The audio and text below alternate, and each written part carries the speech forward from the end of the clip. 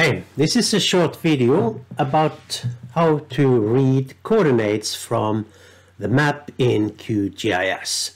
You may have noticed that there is a small window down here showing the coordinates of the cursor. So if you move this cursor in the north-south direction, you will see that the first coordinate changes. If you move it in the east-west direction, you see that the second coordinate changes. Now we have here a map of geographical coordinate system and what is read here is in latitude longitude according to the decimal degree notation. If you are more familiar with having degrees, minutes, second, you can change this by entering the project properties.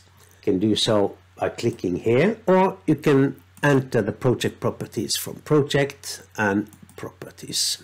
Then you need to activate the general folder and down here we see that the map units is in degrees and we may customize the coordinate format. So by default it shows decimal degrees but if you prefer having it in degree minutes seconds you switch it here and click OK and click OK. Then you notice that the coordinates notation here is changed to the more classical degrees, minutes, second. And so if you, for instance, are interested in knowing the approximate coordinates for the city Göteborg in Sweden, you simply locate the cursor above Göteborg and read out the coordinate.